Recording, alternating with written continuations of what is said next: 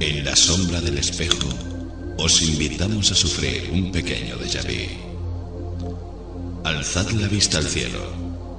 Tal vez encontréis una estrella que os traiga recuerdos. Su nombre, Wolf 424. Nuestro destino, una vez más, el planeta Humo.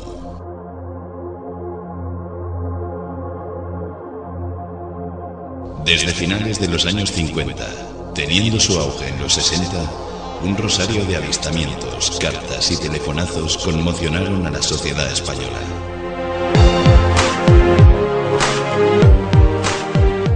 Los extraterrestres, presuntamente, habían establecido contacto con algunos elegidos mediante reveladoras cartas e inquietantes llamadas con voz nasal, ofreciéndoles unos conocimientos científicos muy avanzados para la época. Los sumitas, paradigma de los llamados infiltrados, fueron una esperanza para muchos y un soberano fraude para muchos otros. Finalmente, parece que ganó la segunda opción. Y si recordáis el último programa de la temporada pasada, tal afirmación quedó más que reflejada. En esta nueva singladura, no estamos tan seguros de ello. ¿Por qué? Ahora nos explicamos.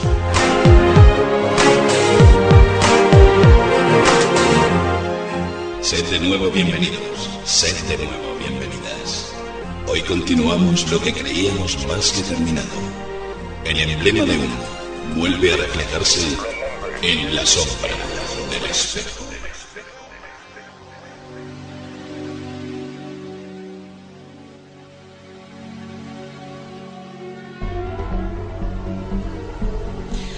Bueno, eh, Víctor, claro, han sido nueve meses de ausencia en los que, bueno, pues ha pasado un poco de todo, ¿no? Lo cierto es que muy, muy a pesar nuestro, lo cierto es que es así, porque nosotros, bueno, pues somos eh, un programa universitario hecho por universitarios eh, que pues trabajamos con la humildad que podemos, pero lo cierto es que pasó algo, ¿no? Pasó algo a partir del último programa que hicimos y es que tuvo una repercusión que sinceramente no esperábamos, ¿no, Víctor? Sí, porque tuvimos una entrevista con José Luis Jordán Peña y que nos desveló muchas cosas en radio. Cierto, el caso es que este señor, don José Luis Jordán Peña, nos hablaba de un caso humo que por si no lo sabéis, resumiendo muy rápidamente, digamos que en la España de los años 50, sobre todo de los años 60 y más eh, posteriormente los 70, hubo pues una serie de reuniones en una cafetería llamada La, La Ballena Alegre y en esa cafetería se reunían una serie de personas con un caché social bastante destacable, se reunían científicos, se reunían investigadores del fenómeno ovni y literatos y hasta policías para hablar de qué, Víctor? Pues para hablar de, un caso que ya se ha nombrado, el caso Humo, y de un fenómeno bastante curioso, ¿no? Un fenómeno con cuatro siglas y que viene a llamarse OVNI.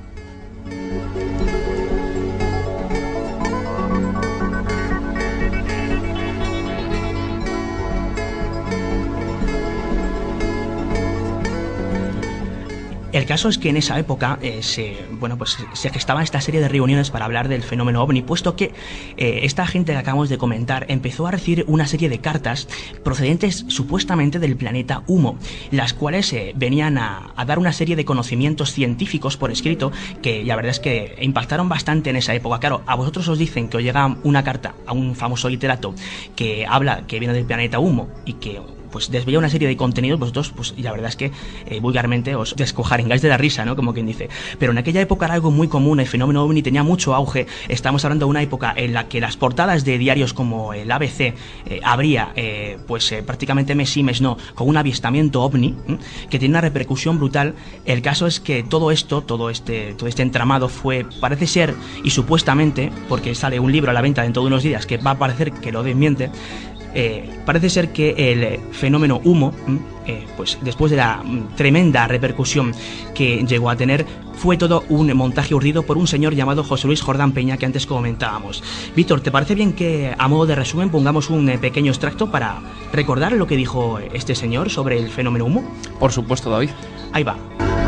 Se dice que al final pues todo fue eh, de alguna forma una especie de experimento sociológico o fraude. Efectivamente, Un experimento social para testar unos individuos eh, de formación eh, científica Sí. y que, eh, que eh, hubo bastantes víctimas, víctimas entre comillas, ¿eh? Sí, claro, víctimas de una, de una especie de engaño, por decirlo de alguna forma. Porque lo querían.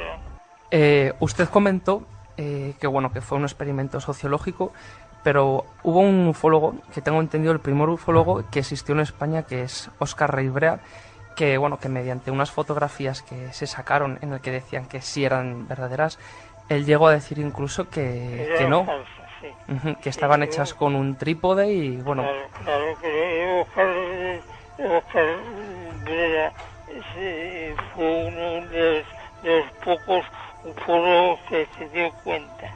sí. Eso es lo interesante, que por eso que a nivel social todo el mundo creyó en el fenómeno humo, pero fíjate que las personas que deberían de creer, es decir, los ufólogos fueron los, los más Los escépticos, que fue lo curioso. Sí, claro. No es de los ufólogos, sino algunos, Exacto. algunos eh, dudaron o se dieron cuenta del fraude, claro. El fenómeno UFO, el fenómeno OVNI, o objetos volantes no identificados, es todo fraudulento. Pero los ufólogos, los ufólogos eh, no se dan cuenta de que completamente todos, un 100% de los casos son fraudes, que eh, la gente necesita creer. Sí, de alguna forma es lo que quizá intentó demostrar también con el, eh, todo este montaje del fenómeno humo, eh, don eh, José Claro. Luis. Claro. El caso Hugo eh, no ha causado perjuicios en general. Hombre, Al eh, contrario, eh, se han beneficiado de los conocimientos que hemos vertido en los informes. Pero también hay un número muy pequeño de perjudicados. sí, también se jugó mucho con las ilusiones de, de muchas personas. Y bueno, para cerrar este tema, eh, don José Luis, eh, a mí me gustaría saber una cosa porque yo siempre he tenido esta duda y siempre he querido preguntárselo. Eh, ¿Tuvo la ayuda de algún organismo oficial a la hora de montar todo esto? Eh, mm, vamos a ver. Me pregunta usted una cosa muy delicada. Eh, tú- yo le puedo decir que no fue ningún organismo oficial español. El CSED, por ejemplo, el Servicio de Información del antiguo CSIC. Eh, no hubo ninguna ayuda de un organismo oficial español. Pero la pregunta eh, se extiende a otros países claro. y yo me, me reservo callarme. Claro, pero, pero por eso digo que cuidado con eh, eh, encontraremos eh, personas como Benítez, Juanjo Benítez, mi amigo excelente mío, que cree en los ovnis y que cree en humo. Claro, está en su derecho. Bueno, pero en el caso de Juanjo, según él, ya no es cuestión de creencia, sino que directamente los, los ha visto. Bueno, Pues ahí teníamos eh, a- las palabras de José Luis Jordán Peña a modo de recordatorio, el cual, bueno, pues se citó una serie de cosas y al final eh, Víctor lapidaba con el nombre de una persona mm, bastante respetable en el mundo no solamente del misterio, sino de la literatura universal. Una persona que ha vendido a lo largo de todo el mundo más de 5 millones de ejemplares y una persona a la cual estoy orgulloso de saludar aquí en la sombra del espejo. JJ Benítez, buenas noches. Hola, ¿qué tal? Muy buenas noches. Bueno, pues eh, Juanjo, encantado de verdad de que estés aquí. Eh, muchas gracias de parte de Víctor, de parte de Alberto y de María, eh, de que estés eh, compartiendo este rato con nosotros. Sabemos que no eres muy amigo de las entrevistas en los medios, por- de lo cual no te culpo, todo se ha dicho. Y eh, bueno, pues eh, Juanjo, mm, la pregunta es obligada. Has escuchado las declaraciones de Jordán Peña y tú, si me permites que te tutee, Sí, sí, claro, naturalmente. Mm, sacas a la venta un libro eh, dentro de unos días que se llama El hombre que susurraba a los humitas y que va precisamente sobre el fenómeno de humo. Han pasado muchos años y acabas de escuchar lo que dice José Luis Jordán Peña. ¿Qué opina Juanjo Benítez de todo esto? Bueno, pues, hombre, es difícil de, de responder en dos palabras, ¿no? Porque han sido muchísimos años de investigación en silencio sobre este tema. Y bueno, ahora en este libro que aparece efectivamente a finales de marzo, pues yo intento sintetizar eh, lo más granado de esa investigación de años, ¿no?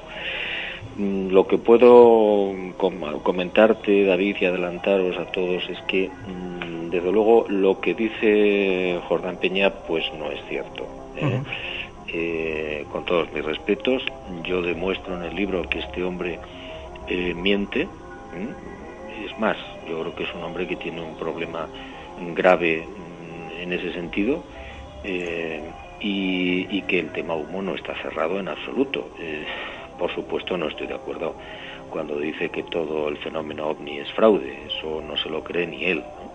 Eh, y ahí habría- podríamos estar toda la noche diciendo por qué no. Eh, el tema humo, eh, por, por resumírtelo, es un tema que ha estado, creo yo, mm, pésimamente investigado, siempre tomado por los pelos y en el, en el sentido de que no se le ha prestado la suficien- el suficiente tiempo eh, de investigación. Y me remito a las pruebas que aparecen en este libro, mm, concretamente a los numerosos casos que hay en los que se han visto naves con esa famosa H o, mm, en la panza ¿eh? y que no tienen nada que ver con el señor José Luis Jordán Peña. Mm, Entre otras razones porque aparecen mucho antes de que él hubiera nacido. Cuanto menos curioso. Juanjo, eh, lo cierto es que tuvimos la oportunidad de pues, eh, compartir una comida contigo y tú nos comentabas algo eh, en referencia a Jordán Peña y es que le entrevistaste en varias ocasiones y había algo que no te cuadraba del todo, ¿no? Sí, vamos a ver, cuando mm, yo lo conocía de antes, de mucho antes de que él en el 93 hiciera aquella declaración pública y escrita en la que se autoinculpaba o se reconocía como, como autor de todo el tema de humo. Bien, a partir de ese momento yo me propuse, mm, bueno, pues eh, hablar con él por lo menos una o dos veces al año eh, y esto mm, se prolongó durante 10 años. Eh, ¿Con qué fin, con qué motivo? Pues sencillamente mm, saber o lo que ya intuía de que este hombre estaba mintiendo. Y claro, él no podía recordar todo lo que me contaba en cada entrevista, pero yo sí. ¿Eh? porque entre otras cosas pues tomaba notas y, y, y, bueno pues lo tenía muy presente. Y ahí en el libro pues se demuestra que efectivamente este hombre mm, no es coherente no es coherente con lo que dice y en muchísimos temas ¿eh? en muchísimos temas relacionados con el fenómeno humo. Por eso digo que, que José Luis Jordán Peña pues no es creíble no tiene ninguna credibilidad y es más ni siquiera cuando dice la verdad si es que la dice Pues es, eh, es curioso. Eh, lo cierto, eh, Juanjo, es que el fenómeno de humo ha tenido una repercusión realmente brutal. Eh, lo comentamos al final de temporada, ¿no, Víctor? No solamente a nivel de España, sino a nivel mundial, ¿no? Bueno, es un tema muy interesante, muy desconocido para la gente joven, lógicamente, pues porque es un fenómeno básicamente de los años 60, 70, eh, aunque repito, hay testimonios, casos de encuentros con estas naves, con las, naves de la, con la famosa H en la panza, mmm, muy anterior, pero muy anterior a, los años 60 eh, y a los años 70, incluso posterior a todo el lío que ha habido con, la inculpación o la autoinculpación de Jordán Peña. Eh, bueno, ¿eso qué quiere decir? Sencillamente que no es que haya unos extraterrestres que vienen de un planeta que se llama humo, etcétera, etcétera. No, yo en el libro no, no defiendo esa hipótesis, ¿eh? esa teoría. Lo que defiendo es que existen unas naves con la H en la panza y que el fenómeno humo, por resumirlo de alguna forma, es mucho más complejo de lo que de lo que pensamos y de lo que creemos y que no es tan simple y no es tan sencillo descalificarlo y echarlo por tierra simplemente porque un señor se, se autoinculpe de que él es el autor de una serie de escritos que además está por ver ¿eh? de que todos esos escritos hayan sido eh, escritos por el señor Jordán Peña eh, ¿a dónde voy a parar? pues sencillamente al hecho de que el fenómeno ovni es mucho más complejo de lo que pensamos mucho más complejo eh, y que el tema humo es mm, pues la punta del iceberg. Hombre, hay que reconocer que hay que ser bastante valiente para que a estas alturas y después de todo lo que se ha dicho, que ya prácticamente se ha dado por sentado eh, por investigadores pues como eh, Javier Sierra, como Manuel Carballal, que en su día tenían pruebas, parece ser que no solamente testimoniales de que Jordán Peña era el autor de todo esto, eh, hay que ser muy valiente para eh, a estas alturas pues lanzar a la venta eh, tal y como está el mercado y tal y como está la crítica de estos temas pues un libro basado en humo y más como tú estás proclamando Juanjo basado en lo que sería defendiendo la teoría extraterrestre ¿no? Bueno, yo invito a, tus oyentes a que echen un vistazo al libro porque mm, está lleno, repleto de información eh, y yo creo que esa información es la que habla por sí misma. Es decir, eh, yo prefiero de verdad en este caso que primero la gente lo pueda consultar, lo pueda leer, lo pueda estudiar y después, bueno, pues se puede hablar sobre el particular. Mm, eh, las pruebas son abrumadoras en el sentido de que cuando se cuenta, por ejemplo, que en los años 50, repito, antes de que de que se, que se conociera el asunto en España de, humo, pues aparecen estas naves en Brasil o aparecen en Sudáfrica o aparecen en Albacete en los años 20 o aparecen en China mucho antes. Bueno, pues todo esto mm, creo yo que tiene un significado cuando eh, ni, ni, siquiera el mismo Jordán Peña es consciente de, de, que aquellas tres naves que se apuntan en una de las cartas famosas eh, que se dan a conocer por, con días de antelación. Resulta que esos tres aterrizajes o esos tres avistamientos se producen en los lugares que apunta la carta famosa, en Brasil, en España y, el, otro, el otro lugar, no recuerdo ahora, me parece que era en, en la Unión Soviética. Bueno, eh, estos, estos eh, perdón, en Bolivia, estos casos, bueno, yo los he podido constatar, los he investigado eh, he visto que se han producido justo en esas fechas avistamientos en esas zonas y me quedo sorprendido porque mm, ¿cómo es posible que el señor Jordán Peña pudiera irse a la zona de Oruro en Bolivia a organizar el, descenso de uno de estos objetos con sus tripulantes? ¿Cómo es posible que lo hiciera en Río Grande del Sur, en Brasil? Mm, la verdad es que, y ya para colmo la guinda, que espero que, que la gente lo disfrute, es que las famosas fotografías de San José de Valderas, bien conocidas de todos, o al menos de todos los investigadores, pues resulta que han sido manipuladas eh, en el sentido de que, bueno, hay un análisis famoso de la GSW norteamericana diciendo que es una maqueta que cuelga de un hilo, que es algo que han defendido casi todos los investigadores, y resulta que ese hilo no existe.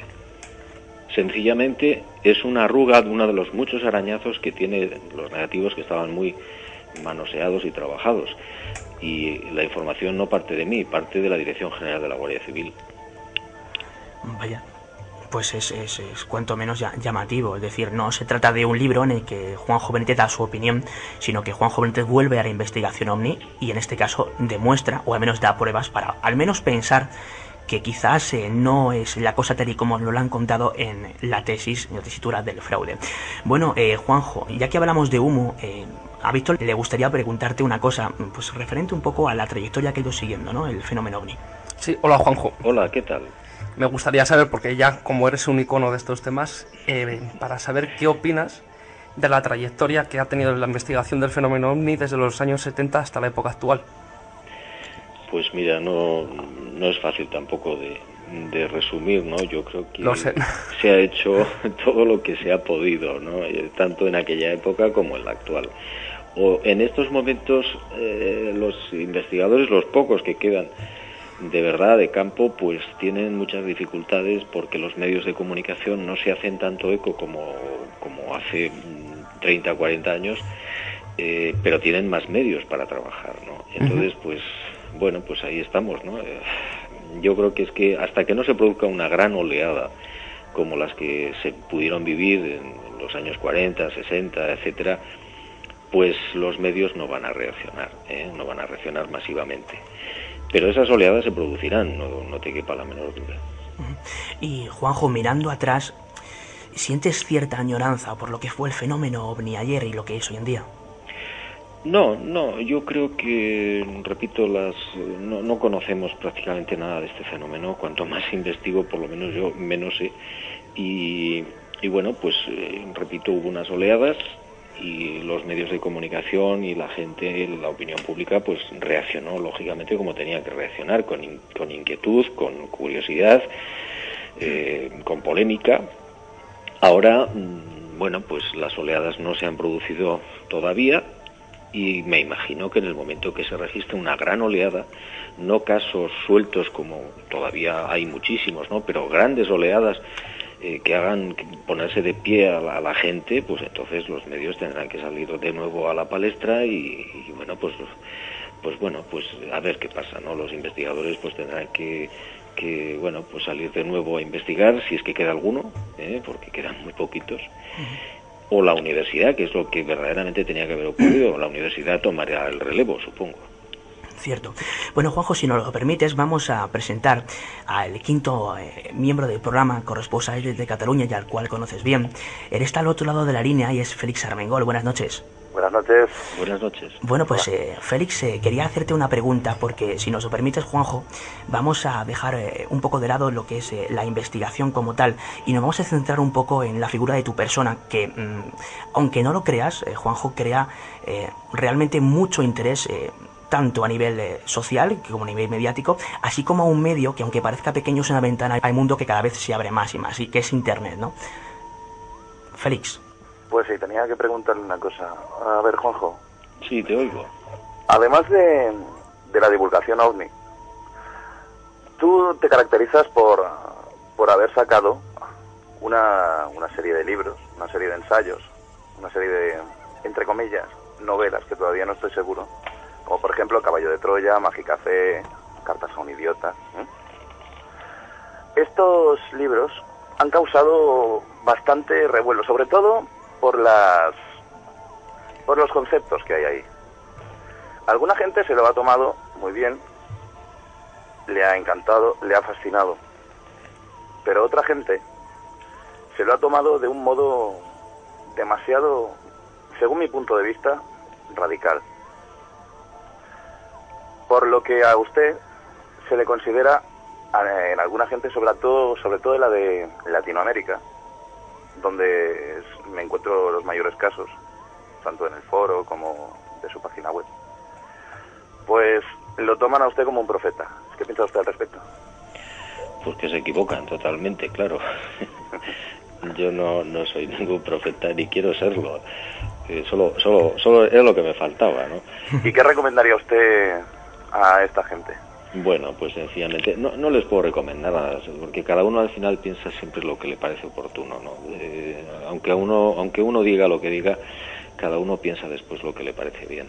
Y me parece correcto, es decir, cada uno tiene su derecho y sus opciones. Yo personalmente creo que no soy ningún tipo de profeta, por lo menos al estilo clásico y conocido. Otra cuestión es que como investigador y como persona que intenta transmitir lo que encuentra, sea bueno, malo o regular, bueno, pues que tenga algún tipo de conexión con, no sé, con algún tipo de sabiduría, bueno, pues como todo el mundo, ¿no? A mí me ha tocado ese papel, ese trabajo, pues como a otras personas les toca otro trabajo. Pero no, no me gusta, rechazo de plano totalmente cuando alguien me dice, bueno, es que usted es un profeta, un iluminado, no sé qué, no sé cuántos. No, no, mire usted, yo soy un señor de a pie, que lo que encuentra lo saca y lo divulga, nada.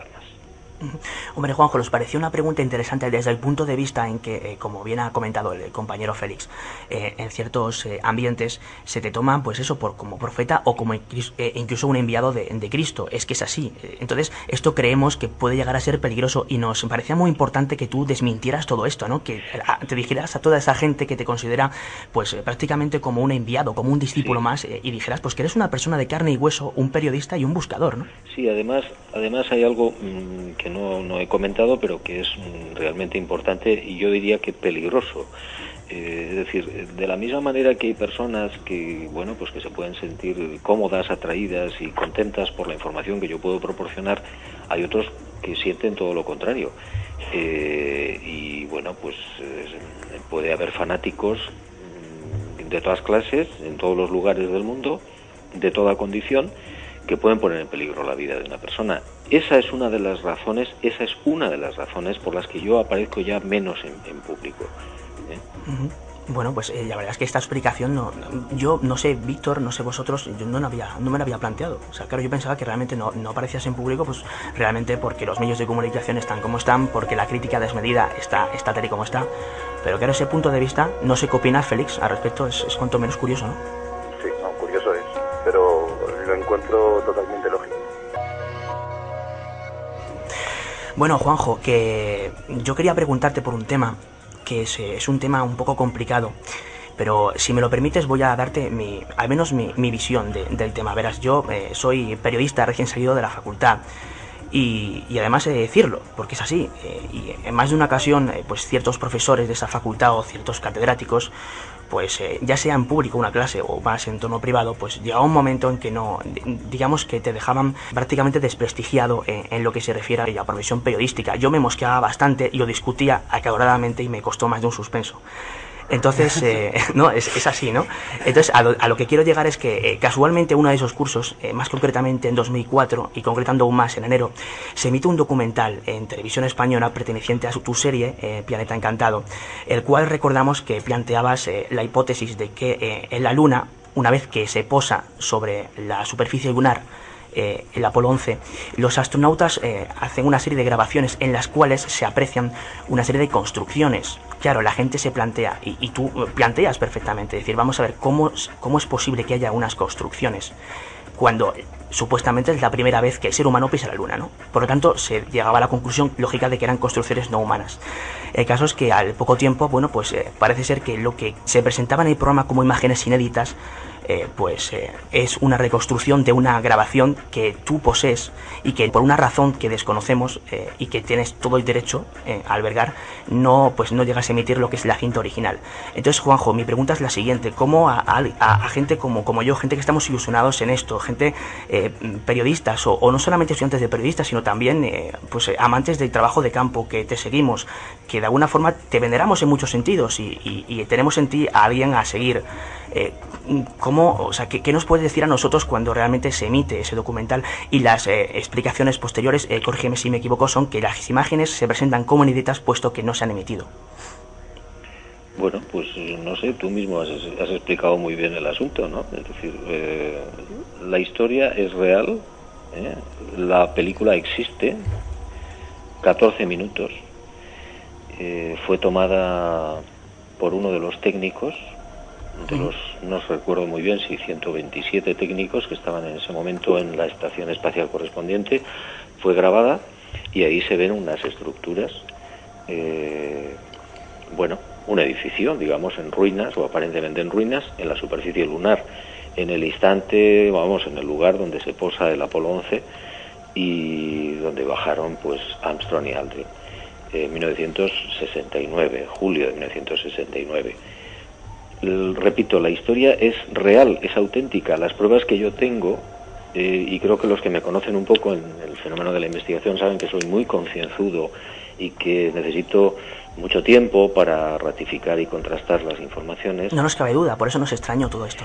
Mm, bueno, pero mm, lo que pasa es que eh, la gente ha cogido al final el rábano por las hojas, ¿no? Dicen, bueno, vamos a ver, lo que se eh, exhibe en esa, en esa película eh, y que además está con, en rótulos y está perfectamente claro que son imágenes inéditas y que además al final aparecen los laboratorios donde se ha realizado el, el, montaje de esta, de esta filmación, mm, no está engañando a nadie. Es decir, eh, imágenes inéditas son aquellas que no se han dado nunca a conocer. ¿eh? Pero repito, se está cogiendo el rábano por las hojas porque la verdadera, lo verdaderamente importante es la historia eh, qué es lo que ocurrió ahí en ese proyecto Apolo y concretamente en el Apolo 11.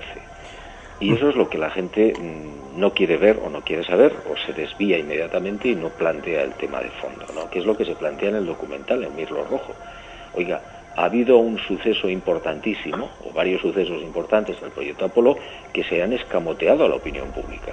Y lo que este señor está diciendo en ese documental, en ese documental es que ustedes sencillamente estén alertas ¿eh? de que eso mm, ha pasado. ¿eh? Y repito, insisto, creo que tengo las pruebas suficientes como para saber que esto es así.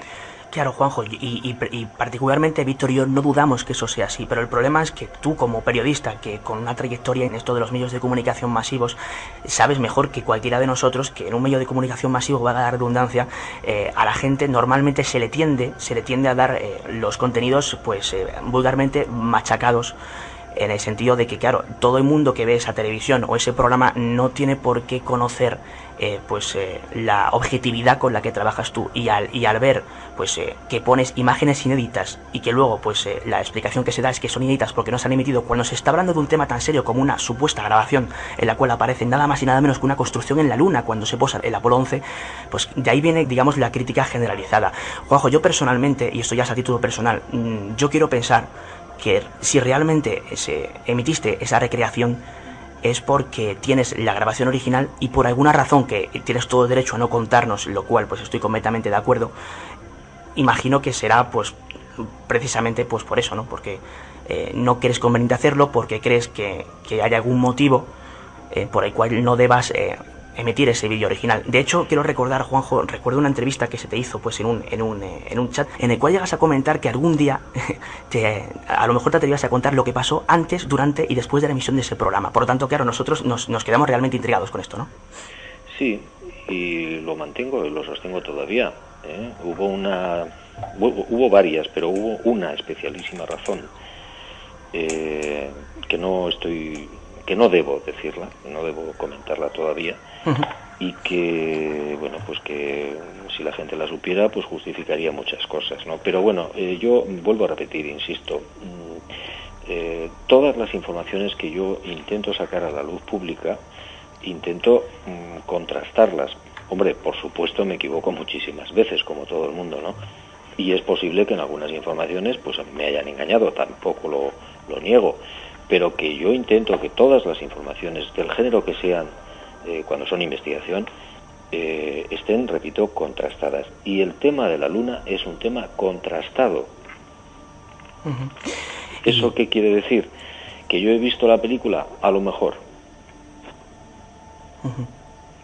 pues eh, no, no, no, no, a, mí personalmente no me cago duda, Juanjo, simplemente te lo preguntaba, eh, ya no solamente por interés personal de por qué, por qué fue así, sino porque es un tema que a la gente pues realmente le preocupa. No, ya no hablo de la gente crítica o la gente escéptica, hablo de, todo el mundillo en general, ¿no? Que te rodea.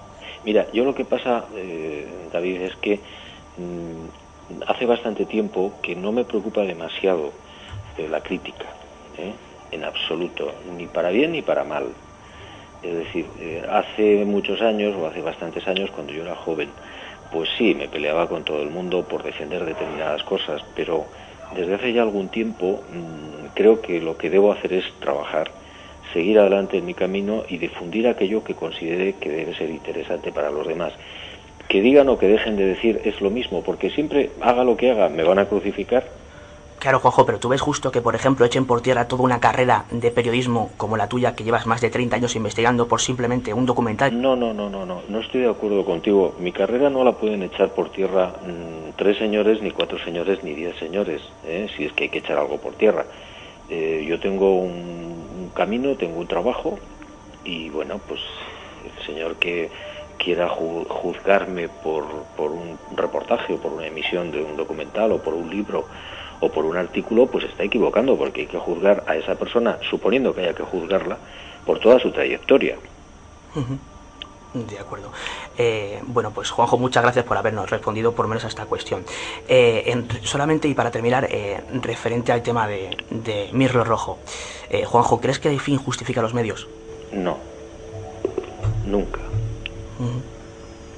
Eso, si es que me lo preguntas por las bombas nucleares tácticas que se arrojaron sobre la superficie de la Luna, creo que no, por supuesto, que no hay ningún fin que justifique nunca los medios, jamás.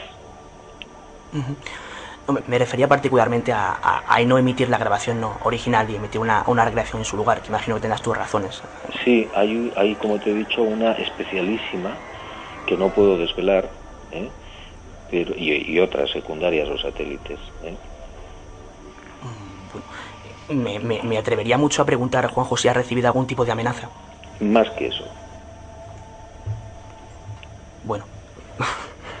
eh, estamos, estamos alucinando, ¿no? Flipando, sí. Madre, hombre, yo esperaba algo parecido, pero mm, en fin. No, no te voy a dar más explicaciones porque no te las puedo dar. No, no, lógicamente, No, no, no, y no- lógico. y no lo esperamos, Juanjo, pero realmente estamos... No, no, eh, si el día que yo lo pueda hacer, eh, el día que yo lo pueda desvelar, mm, podéis estar completamente seguros que no me voy a quedar callado, porque mm, se me puede acusar de muchas cosas, pero no se me jamás me dirá nadie que no he dicho lo que he pensado. Bueno, pues eh, ahí, ahí está el, el tema Mirlo Rojo, mm, finiquitado por lo que a mí respecta y, la verdad es que la explicación que has dado Juanjo a mí personalmente ya me, me acaba de convencer de que, de que realmente esas pruebas están ahí y que eso lo hiciste efectivamente fue por, por una razón de, de peso. Eh, queremos hacerte un, pues, un par de cuestiones sobre temas eh, actuales. Eh, Juanjo, ¿qué opinas? Porque hemos visto en, algún, en algún foro tu respuesta al respecto y nos ha sorprendido. ¿Qué opinas de todo este tema del calentamiento global que tan de moda se está poniendo, sobre todo en los medios de comunicación?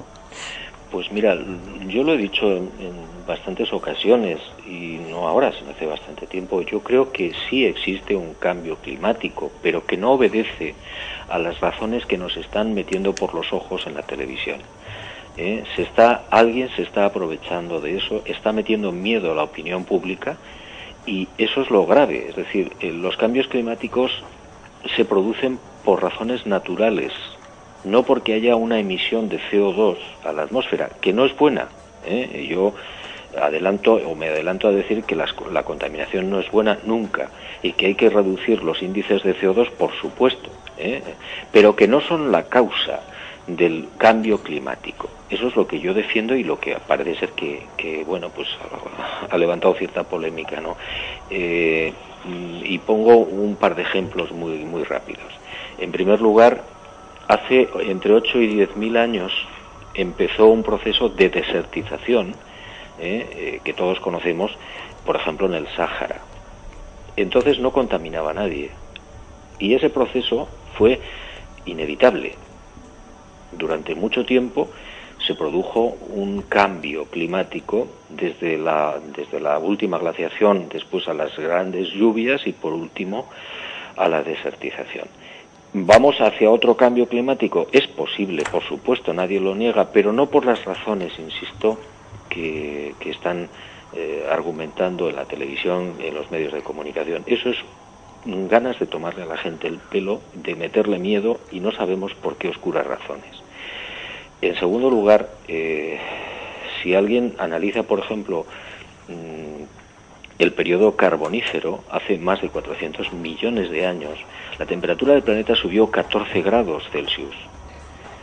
¿Eh? Es, decir, hay mm, ciclos, se producen eh, eh, alteraciones naturales dentro del planeta, pero por razones muy diferentes a las que no se nos está diciendo. Eso es lo que quiero que quede muy claro. Y el segundo tema por el que te queríamos preguntar en actual, eh, Juanjo, fue algo que nos sorprendió realmente, ¿no, Víctor? Eh, con- eh, comentamos contigo un tema pues que está muy de moda, ¿no? Es el tema paranormal del momento y posiblemente sea el más importante supuestamente en lo que se refiere a la parapsicología mundial, dicho por va- varios expertos. Porque, Juanjo, ¿qué opinas sobre el fenómeno de las caras de Belmez? Pues que no creo ni una palabra. Y tienes tus razones, ¿verdad? Sí. Bueno, yo no lo he investigado, tengo que reconocerlo a fondo, ¿eh? para nada. Ese no es un campo que me haya traído, mm, pero tengo algunas informaciones que apuntan a que todo esto fue un montaje inicial. ¿eh? Eh, entonces, bueno, personalmente, ya que me lo preguntáis, pues te digo que no, que no creo en eso. Eh, pero insisto también que yo no lo he investigado. Eh, Juanjo, ¿nos podrías resumir las, la causa de que no, no creas en ello, es decir, las, las pruebas eh, que pudiste recoger?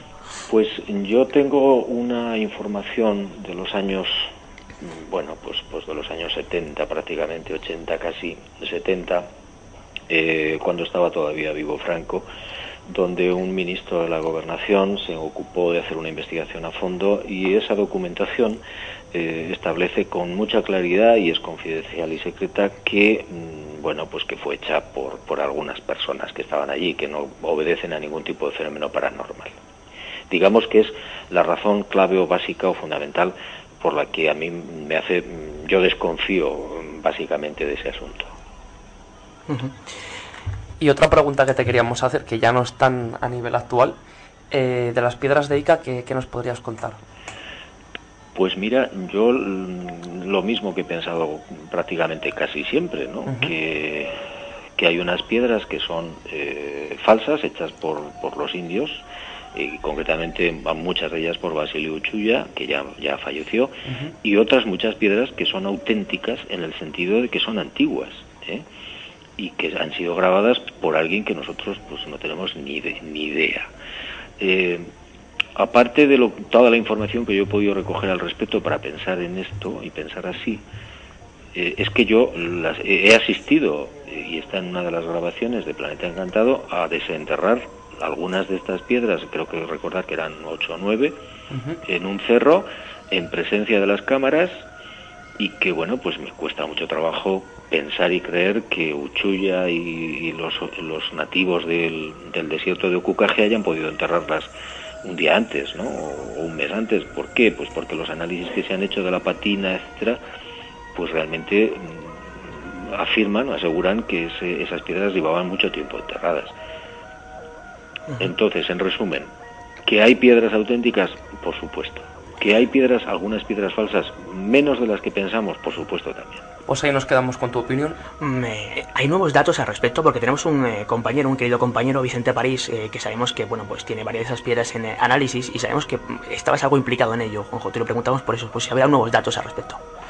Bueno, la, la, única información nueva que yo conozco son de unos análisis que se han realizado en la Universidad Autónoma no hace mucho tiempo, donde aparece en algunas de las piedras mm, de grabadas aparece una, una sustancia blanca, que ahora no recuerdo exactamente el nombre, eh, cuya antigüedad para que se produzca esa, esa, protección o esa patina blanca alrededor de las, de las grabaciones, creo recordar que la, la, Universidad Autónoma hablaba de que se necesitaban alrededor de 60 o 90 mil años.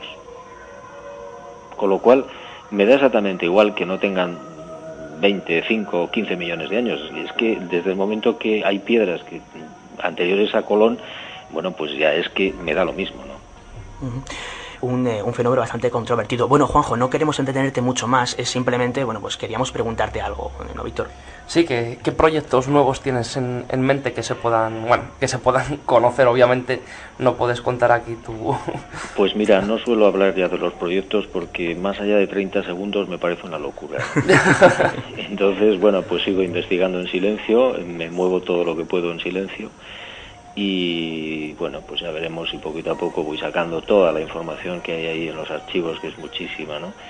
Y, que bueno, pues simplemente que no he abandonado ni abandonaré nunca el fenómeno ovni hasta que me muera, por supuesto. De eso podéis estar completa y absolutamente seguros. ¿Y alguna publicación venidera aparte del libro que hemos estado comentando antes? Bueno, El hombre que susurraba a los humitas es un libro que está entregado hace tres años a la editorial, entonces como podéis imaginar ya hay más cosas que ya están incluso terminadas y escritas, pero mm, tengo que esperar al año que viene porque mm, la editorial prefiere esperar que no salgan tantos libros a la vez, ¿no? Y me parece lógico. Pues secreto de sumario para aquellos que nos escuchen. eh, Juanjo, ¿habrá sorpresa final en Caballo de Troya? Habrá una gran sorpresa en el nueve y último Caballo de Troya. Sí, yo, yo estoy seguro que va a haber una gran sorpresa. Bueno, bueno, tú claro que estás seguro. Bueno, Juanjo, pues no queremos eh, molestarte más. Eh, Félix, ¿sigues ahí? Sigo ahí, sí. Bueno, eh, ¿quieres preguntar algo más a Juanjo para finalizar? Sí, me gustaría formularle una pregunta bastante chorra y a mala leche, pero es una pregunta que, me corroe las entrañas. Tipo sombra del espejo, ¿no, Félix? ¿Cómo, es el tipo sombra del espejo? Sí, hombre, pues eso, pues nosotros intentamos tocar los temas seriamente, pero hombre, el sentido del humor y el reírse de uno mismo es, es quizá nuestro, ¿eh, Víctor? Pues, sí, demasiado a veces. Nuestra guía de cabeza. Pero es, necesario para, para vivir.